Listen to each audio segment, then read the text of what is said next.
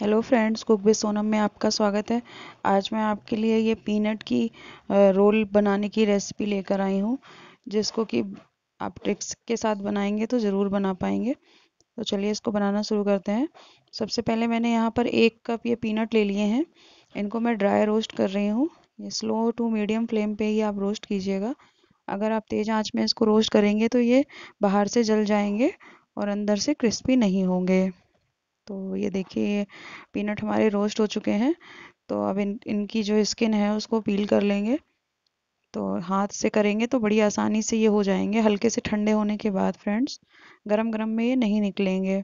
तो ये देखिए स्किन निकाल दी है मैंने ये पीनट्स की और इसको मिक्सर ग्राइंडर में डाल के इसको रुक रुक के चलाएँगे फ्रेंड्स अगर एकदम से चलाएँगे तो ये गीला हो जाएगा पेस्ट और यहाँ पर मैंने आधा कप शुगर ली है और आधा कप ही वाटर लिया है। शुगर को जब तक कि पकाएँगे वाटर में, जब तक कि पूरी तरह से शुगर डिज़ोल्व नहीं हो जाए।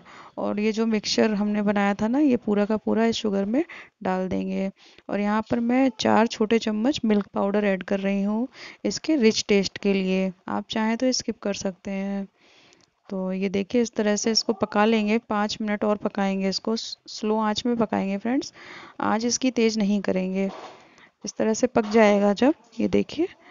तो एक प्लेट में हम घी से ग्रीस कर लेंगे इस तरह से और ये सारा का सारा जो मिक्सचर है वो प्लेट में ऐसे ट्रांसफ़र कर देंगे। और अब ये थोड़ी देर के लिए हम इसको ठंडा होने देंगे।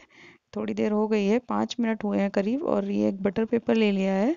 तो ये सारा का सारा जो मिक्सचर है वो बटर पेपर पर ट्रांसफ़र कर लेंगे फ्रेंड्स और इसके बाद हम इसको हाथों से दबा दबा के ये डो की तरह ये फॉर्म हो जाएगा। बटर पेपर के साथ ही दबाइएगा, नहीं तो आपके हाथ में चिपक जाएगा। तो अब देखिए इसको हम इस बटर पेपर में लपेट के एक रोल शेप में कर लेंगे और इसको 15 से 20 मिनट के लिए फ्रिज में सेट होने के लिए रख देंगे। तो ये देखिए इस तरह से हमने बटर पेपर में इसको लपेट लिया है। आप चाहें तो सिल्वर फॉइल में भी लपेट सकते हैं। तो अब इसको मैंने फ्रिज में रख दिया था फ्रेंड्स पंद्रह से बीस मिनट हो चुके हैं। ये हमारा सेट हो गया है रोल तो इसको हम बटर पेपर से रिमूव कर लेंगे।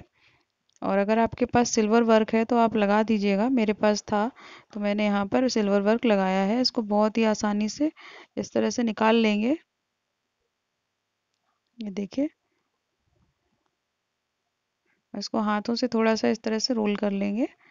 ये देखिए कितना स्मूथ हो गया। अब इसमें हम ये सिल्वर वर्क लगा ले रहे हैं। अगर आपके पास नहीं है तो आप स्किप कर सकते हैं। किसी ड्राई फ्रूट से अगर गार्निशिंग करनी है तो वो भी आप कर सकते हैं। तो अब इसको हम चाकू से इस तरह से रोल शेप में कट कर लेंगे। फ्रेंड्स, आपको मेरी रेसिपीज़ कैसी लगती हैं, प्लीज़ कमेंट करके ज़रूर बताइए। अगर अभी तक चैनल को सब्सक्राइब नहीं किया है तो प्लीज़ सब्सक्राइब कर लीजिए, ताकि आने वाले हर वीडियो का नोटिफिकेशन आपको तुरंत मिल जाए। इसके लिए आप बेल आइकन को भी प्रेस कर दीजिएगा। मिलती हूँ एक नेक्स्ट रेसिपी में। Thank you.